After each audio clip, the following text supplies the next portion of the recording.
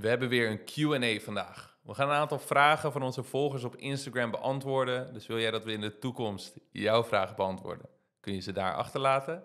En ehm, dat zijn vragen over spiergroei, over vetverlies, over wat je moet doen bij blessures, etc. Alles wat te maken heeft met een gespierd, en atletisch en sterk lichaam. Daar gaan we. Welkom bij Project IJzersterk, de podcast waar we mensen met een druk en sociaal leven helpen om fysiek te transformeren. We geven praktische tips voor spiergroei en vetverlies en delen inspirerende verhalen. Laten we samen onze kracht vergroten en ons leven verbeteren. Samen met jou zijn we IJzersterk.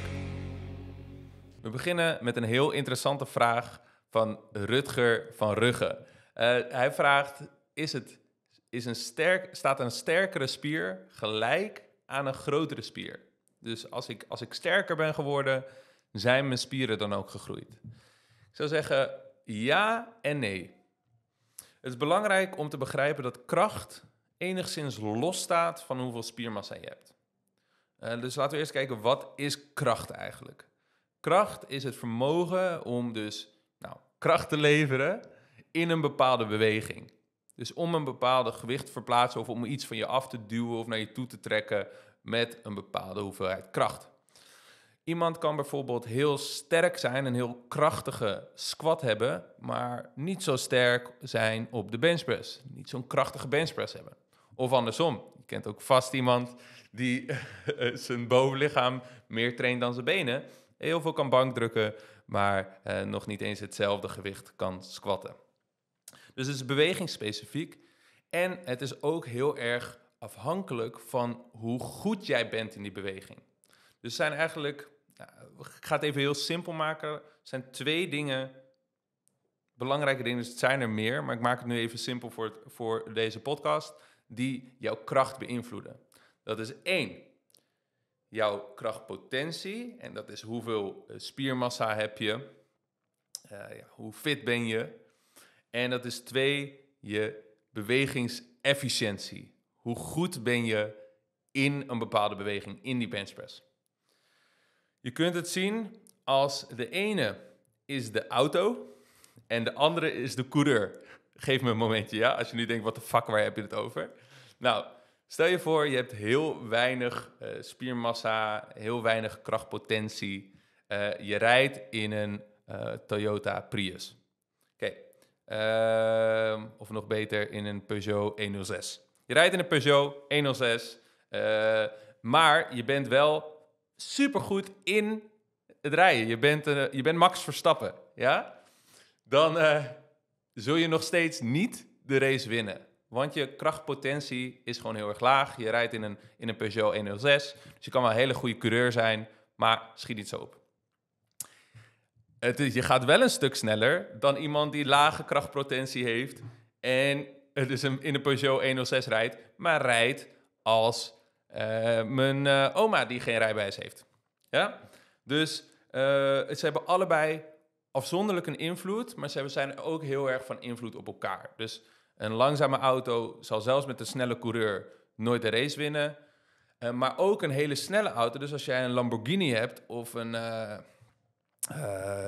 nou, whatever. We nemen het voorbeeld van een Lamborghini. Je hebt een Lamborghini uh, en uh, je hebt een hele snelle auto. En ja, je oma zit achter het stuur. Nou, dan ga je ook niet de race winnen. Dus je hebt hele hoge krachtpotentie, veel spiermassa, maar je bent heel erg slecht in die benchpress. Nou, dan ga je ook niet zoveel gewicht verplaatsen. maar als je dan die, die, die Lamborghini Aventador combineert met Max Verstappen, waarschijnlijk zullen de autofanaten mij nu haten omdat Lamborghinis uh, misschien niet de allerbeste auto zijn voor de prijskwaliteit en whatever. Maar dat is nu niet belangrijk. ik voel je, maar het is nu niet belangrijk. Uh, Oké, dus je hebt die Lamborghini en je hebt Max Verstappen, bang, ga je super hard. Dus we hebben de auto, we hebben de krachtpotentie en we hebben uh, de bewegingsefficiëntie of de coureur. Dus staat, een, staat meer kracht gelijk aan meer spiermassa? Nee, niet per se.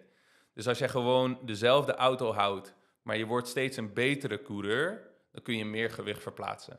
Een goed voorbeeld hoe je dit bewerkstelligt is door voor maximale kracht te gaan trainen. Als jij als een powerlifter gaat trainen, je doet alleen, uh, nou, ik zeg niet dat alle powerlifters zo trainen, maar stel je zou alleen maar bench press, squat en deadlift doen, ergens tussen de 1 en 3 repetities, weet je. maar een paar setjes in de week. Heel weinig training, maar heel erg zwaar.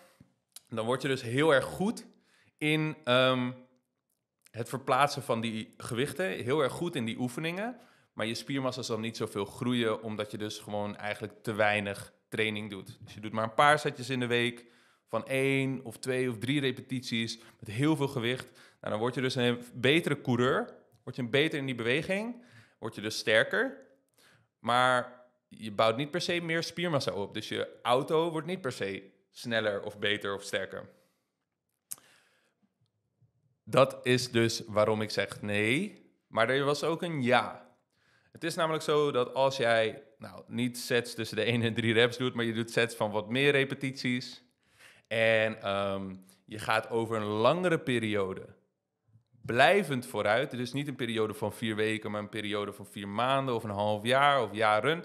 Je blijft stappen maken. Je doet bijvoorbeeld die benchpress op de 8 tot 12 repetities. Nou ja, de eerste paar weken van je blok word je gewoon beter in die beweging. Hè? Je wordt gewoon een betere coureur, want je hebt die benchpress een tijdje niet gedaan. Van week tot week kun je omhoog gaan in het gewicht. Uh, maar dan komt er een punt waarop je best wel goed bent, best wel goede coureur bent. En dan zit je op die maximale potentie van je huidige auto. Nou, als je dan nog steeds sterker blijft worden, nog steeds meer gewicht kunt verplaatsen van week tot week, dus niet over vier weken, maar over vier maanden, over vier jaar, ja, dan kan het niet anders dan dat jij sterker bent, dan dat jij spiermassa hebt opgebouwd. Dus het is wel degelijk, het kan wel degelijk gebruikt worden als een hele belangrijke indicatie, een heel belangrijk signaal dat je aan het groeien bent. Maar het is niet het enige signaal. Het vertelt niet alles. Om een voorbeeld te noemen, als wij nu een oefening gaan doen die je bijvoorbeeld nog nooit gedaan hebt. Stel je hebt nog nooit een military press gedaan. Nou, dan zul jij wekenlang, misschien wel maandenlang, heel makkelijk stappen vooruit kunnen maken. Ook al blijft je spiermassa hetzelfde. Maar als je bezig bent met een groeifase, je calorieën, je voeding is goed, je traint op de juiste manier voor spiergroei en jij kunt stapjes blijven maken, stapjes blijven maken voor over een langere periode, dan is het wel degelijk een belangrijke indicator dat je aan het groeien bent. En het is ook een belangrijke indicator dat je vastloopt. Als jij op een gegeven moment die military press blijft doen, maar je kunt niet meer meer gewicht verplaatsen van week tot week, je bent al goed in die beweging, dus die coureur is al best wel goed, en je loopt gewoon vast, nou dan weet je dus dat die auto ook niet meer aan het upgraden is. Dan weet je dus dat jouw spiermassa ook niet meer aan het groeien is. Dus wanneer je, wanneer je vast gaat lopen en je krachtprestaties in een tijd lang niet vooruit gaat, en wanneer je merkt van hé, hey, het is een half jaar verder, maar die military press is nog steeds op hetzelfde gewicht, nou, dan, dan weet je dus dat je waarschijnlijk ook niet heel veel spiermassa gewonnen hebt. Staat het sterker worden van de spieren inherent aan spiergroei, was de vraag, of eh, staat het gelijk aan spiergroei? ja en nee. Ik hoop dat het een beetje een duidelijke verhaal was. Heel erg bedankt voor het luisteren van deze aflevering. We nemen even een korte pauze voor het volgende verzoek. We hebben geen sponsors op deze podcast en we draaien hiervoor geen advertenties. De enige manier waarop dit groeit is door mond-tot-mond reclame. Als jij waarde haalt uit deze podcast, dan ken je vast ook anderen die onze content kunnen waarderen. Wellicht zou je het kunnen delen op social media of met vrienden of familie. We zijn je eeuwig dankbaar. Terug naar de podcast. Dit zijn hele, uh, hele, hele relevante vragen ook, denk ik. Ik hoop dat je er wat aan hebt. Uh, ik denk dat het Patrick, zijn, zijn, zijn Instagram-naam is PTRCKVNDM. Dus ik denk Patrick, uh, Patrick bedankt voor je vraag. stagneert gewichtsafname naarmate je langer in een calorie deficit zit? Ik snap de vraag, maar als je hem op deze manier stelt, dus hij zegt, oké, stagneert gewichtsafname, dus loopt het gewicht, uh, je bent aan het afvallen en op een gegeven moment loop je helemaal vast, stagnatie, het loopt, gaat niet meer vooruit, wanneer je langer in een calorietekort zit, wanneer je langer calorie, minder calorieën eet dan je verbrandt. Nou, nee. Zolang jij in een calorietekort zit, dus zolang jij minder calorieën eet dan je verbrandt, val je af. Dat is de essentie. Dat, dat, dat, daar kunnen we niet omheen. Als jij dus minder calorieën binnenkrijgt dan je verbrandt, dan val je af. Maar de reden waarom mensen wel heel vaak stagneren, dus bij onze uh, leden die bij ons een 12 weken transformatie in droogtrainfase doen, komt eigenlijk bijna altijd wel een moment waarop, dat, waarop de progressie stagneert. En dan moeten we dingen gaan aanpassen. Uh, dat is meestal het moment als mensen zelfstandig aan de slag gaan, dat ze gedemotiveerd raken, niet zo goed weten wat ze moeten doen en terugschieten naar hun startsituatie. Als dat bekend klinkt, gebeurt heel veel mensen. Ehm, eh, dat is het moment waarop je je programma moet gaan updaten. Het is namelijk zo dat mensen wel heel vaak stagneren, maar wat dan de conclusie dus is, is dat je niet meer in een calorietekort zit. Dus als je me de vraag stelt, stagneert je gewichtsafname als je lang in een calorietekort zit? Nee. Uh, zolang je in een calorietekort zit, val je af. Maar omdat je uh, bent afgevallen, omdat je aan het droogtrainen bent, vertraagt of verlaagt je dagelijkse verbranding. Er is best wel wat onderzoek dat echt best wel schokkende invloed op je totale verbranding uh, laat zien wanneer mensen afvallen. Dus mensen die 10% van hun lichaamsgewicht, was een studie die aangaf dat mensen die 10% van hun lichaamsgewicht verliezen, wel 20% minder calorieën verbranden op een dag. En dat betekent dus dat datzelfde caloriebudget waarmee je eerst heel snel afviel, heel snel vet verloor, dat levert opeens geen resultaat meer op. En dit is een heel extreem voorbeeld. Maar als jij dus, nou stel je, stel je, je uh, eerst was je onderhoudsinname was 2500 kilocalorieën en je bent op 2000 begonnen met droogtrainen, dan kan het heel goed zijn dat jij op een gegeven moment geen resultaat meer ziet met diezelfde 2000 calorieën. Ja, dat is even balen. Dus wat er dan moet gebeuren, uh, wat er namelijk een van de belangrijke dingen die er gebeurt, is dat de NEAT, N-E-A-T, dat staat voor Non-Exercise Activity Thermogenesis, zal hem even uitleggen. Dus alle verbranding die je door te bewegen, maar wat niet training is, niet dat je aan het hardlopen of aan het krachttrainen bent, dus een non-exercise, niet training, uh, activity, uh, thermogenesis. Thermogenesis is eigenlijk de, het metaboliseren van het verbranden van energie. Dus, uh, um, of het leveren van energie door verbranding. Oké, dus non-exercise activity thermogenesis kan enorm afnemen. Als je lichaam in een calorietekort zit, dan heeft je lichaam dat door. Zeker wanneer dat een langere tijd gebeurt. En dan gaat het eigenlijk automatisch efficiënter om met energie. Je ziet mij misschien als je naar de video kijkt, zie je mij helemaal bewegen en dingen doen. Ik zit niet in een calorietekort. Wellicht als ik in een calorietekort zou zitten, zou ik minder bewegelijk zijn. Je lichaam gaat op allerlei manieren proberen energie te besparen. En een grote invloed daarop is non-exercise activity thermogenesis. Dus um, wat, het, wat het betekent wanneer je stagneert, is dat je niet meer in een calorietekort zit. En wat je dan moet doen, is kijken naar je activiteit en kijken naar je calorieinname. Om ervoor te zorgen dat je opnieuw een calorietekort creëert. Door meer te gaan bewegen. Dus je kunt een stappendoel toevoegen. Je kunt een training toevoegen. Je kunt cardio-sessies toevoegen. Je kunt extra klussen rondom het huis toevoegen. Je kunt een keer wandelen naar de werk of met de fiets in plaats van met de auto of met de trein. Je kunt allerlei dingen doen. Je kunt wandelen met je vriend eh, met een kop koffie in plaats van zitten aan een, in een koffietent met een stuk taart. En je kunt je calorieinname verlagen. Dus we kunnen aan verschillende knoppen draaien om ervoor te zorgen dat je wel in een calorietekort blijft, zodat de gewichtsafname niet stagneert. Oké, eh, dank voor je vraag, uh, Patrick. Dit zijn een paar hele uh, relevante vragen. Ik ga even kijken, er zijn een aantal die minder geschikt zijn voor het podcast format. Even kijken. Um, nou, dit is wel een interessante. Bouke die vraagt, hoe kun je thuis met beperkt aantal gewichten en equipment en spotter tussen haakjes toch spiergroei realiseren? Nou, voor uh, spiergroei, we hebben best wel wat leden ook die in home gyms uh, trainen. Uh, die gewoon in de schuur of in, in een extra kamer wat spullen hebben staan. Meestal hebben niet, die niet een hele sportschool met allemaal apparaten staan. maar gewoon een rek, barbells, dumbbells, dat soort zaken.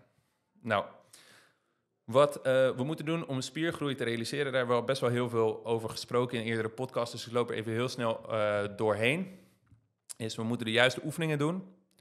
Nou, meestal met dumbbells en barbells kun je een heleboel spiergroepen heel goed, goed trainen.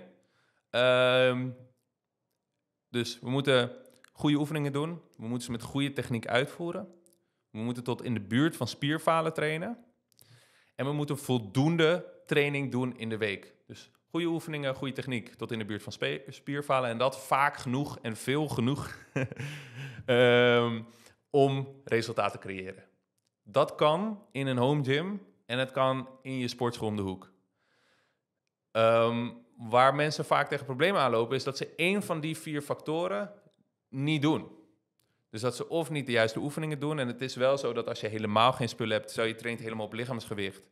Ja, voor je rug kun je pull-ups doen, maar dat is voor de meeste mensen te zwaar. je kunt misschien uh, bodyweight rows doen, maar dan moet je wel weer een soort rek hebben waar je dat aan vast kunt maken. Maar voor je benen bijvoorbeeld, ja, je kunt pistol squats doen als je op lichaamsgewicht traint. Die zijn best wel zwaar. Maar ja, lunges, squats en uh, split squats en dat soort dingen, die zijn al heel snel niet meer zwaar genoeg. Dus dan heb je nog sissy squats. Nou ja, in ieder geval, je loopt op een gegeven moment tegen problemen aan voor sommige spiergroepen als je helemaal geen materiaal hebt. En dan zul je dus gewichten uh, moeten gaan uh, toevoegen of elastiek of wat dan ook. Zodat je die spiergroepen wel goed kunt blijven trainen. Zodat je die vier factoren kunt doen. Goede oefeningen, goede techniek, tot in de buurt van spierfalen en vaak genoeg in de week. Um, met redelijk beperkt materiaal kan dat dus heel erg goed. Belangrijk is dat je die vier factoren blijft doen. En we hebben een hele hoop um, podcasts al over, of een aantal podcasts opgenomen over hoe je het maximale haalt uit je training, hoe je groeit in minder dan drie uur training per week. Um, ja, luister die podcast terug en dan gaan we er dieper op in. Maar dat kan dus prima in een home gym. Wil jij fysiek transformeren, maar zie je nog niet het resultaat dat je voor ogen hebt? Dan wil ik je geruststellen. Het ligt waarschijnlijk niet aan jou, maar het ligt aan het plan dat je volgt. Je kunt wel hard je best doen, maar als het plan niet effectief of duurzaam is, zul je geheid falen en je motivatie verliezen. Wij helpen mensen zoals jij het plateau doorbreken en transformeren in 12 weken. Als je het zat bent om veel moeite te stoppen in weinig resultaat, meld je dan aan voor een vrijblijvende kennismaking via onze website www.projectijzersterk.nl. Terug naar de podcast. We gaan er nog twee doen. Ze hebben allebei met irritaties of pijntjes te maken. Even kijken, nee, we doen er nog één. Hoe uh, benen te trainen met kniepeesklachten? Goeie vraag. Uh, het kan natuurlijk gebeuren dat je op een gegeven moment ergens tegen irritaties aanloopt.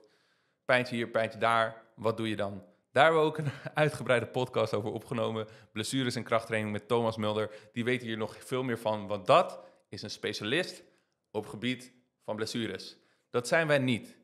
Dus vanuit mijn coachingsperspectief kan ik jou dus ook geen medisch advies geven. En dit is ook altijd wanneer wat ik een klant vertel wanneer uh, we ergens tegenaan lopen. Dat kan natuurlijk gebeuren. Um, ik kan je geen medisch advies geven. Wat ik als uh, coach kan doen, of wat wij als trainers kunnen doen, is proberen rekening te houden met irritatie en er zo goed mogelijk mee omgaan. Dat wil zeggen, hoe kunnen we de training aanpassen op een manier dat we de irritatie niet verergeren of dat we voldoende ruimte laten voor het herstel? En hoe kunnen we overleggen met de specialist, bijvoorbeeld Thomas Mulder of een andere fysio, uh, om ervoor te zorgen dat we ook de juiste dingen doen op medisch gebied, zeg maar, dat, die, dat daar ruimte voor is in het programma, dat we geen domme dingen doen. Dus in het geval van Thomas, die kan dan even naar het programma kijken, kijken welke dingen die wel en niet slim vindt. Dus uh, belangrijkste advies is ga naar een specialist. Um, in de training ben ik altijd naar op zoek van, oké, kunnen we die, die spiergroep, dus als het gaat om kniepeesklachten, dan zijn het vaak meestal de bovenbeenspieren, de quadriceps, die moeilijk te trainen zijn, omdat bijvoorbeeld een leg extension of een squat irritatie geeft. Nou, dan zou de vraag zijn, kunnen we die oefeningen lichter doen of op een trager tempo, hogere repetities? Kunnen we het op zo'n manier aanpassen dat we nog wel die spier kunnen vermoeien en tot in de buurt van spiervallen kunnen gaan, zonder dat we de irritatie verergeren? Of kunnen we misschien een andere oefening doen? Dus stel die squat geeft irritatie, maar een leg press niet. Uh, kunnen we misschien uh, een oefening anders doen? Of kunnen we misschien uh, minder diep squatten? Kunnen we tijdelijk die oefening aanpassen? ik word gebeld. in de podcast, dit is leuk.